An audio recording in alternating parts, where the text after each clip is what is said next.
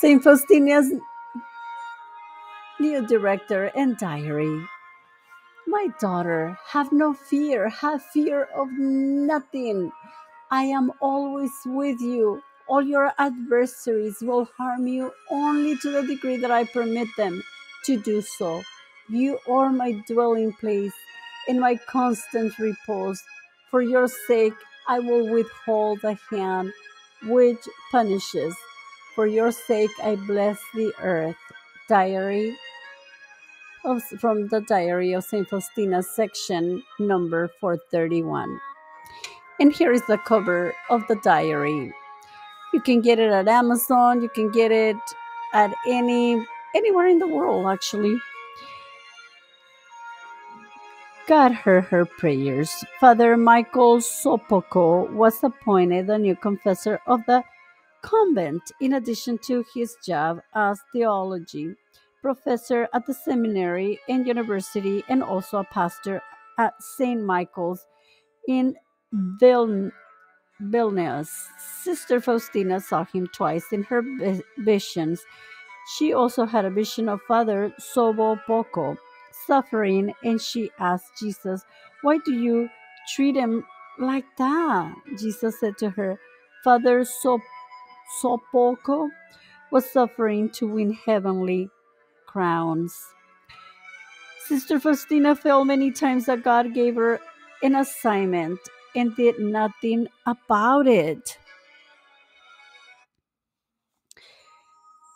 Say like painting the image, she prayed, You urge me to do, you urge me on the one hand and hold me back and restrain me on the other. Then Jesus said to her, Listen to my representatives, the priest Father Sopocko ordered for her a complete physical and psychological examination. The reports came back excellent.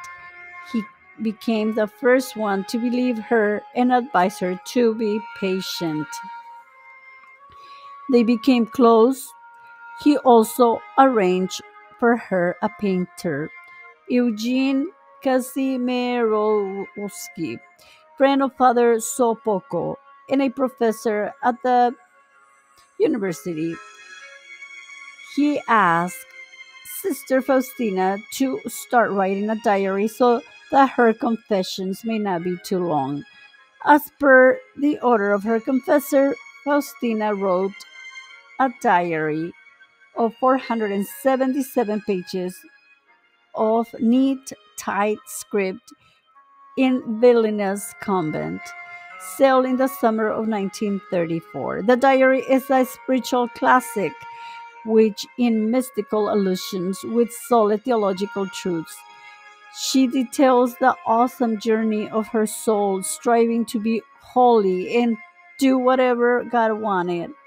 Her discernment, active submission, persistence in the face of adversity, fundamental trust in the Lord, faithfulness to the end, ability to change the things that were unchangeable, ability to be at peace with the unchangeable, and her whole personality comes alive in the diary. She simply inscribed her discovery of God's love as divine mercy in my soul. Let us not forget that Faustina's that Faustina had barely completed three semesters of schooling as a child in Poland. But remember, God chooses the humble, the humble of heart. And what can we say about Faustina? Very humble. And in the next video, I will talk about praying for the dying. And the importance of, of praying at 3 p.m. Well, thank you, and may the Lord bless you and those who you love. Continue to pray for me and my family as I continue to pray for you and your family. And remember, remember the St. Kowalska is a true model for us. That even if we're going through adversities, even if, you know, in this case, they thought that she was a little lunatic, but she wasn't. And so if they say, oh, she's going crazy, don't be afraid because a lot of the saints have gone through that. Just keep on going.